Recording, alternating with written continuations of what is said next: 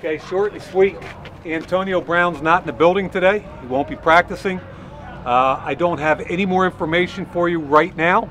And when I have some and it becomes appropriate, you guys will all get it. I promise you. But that's it for today. Thank you.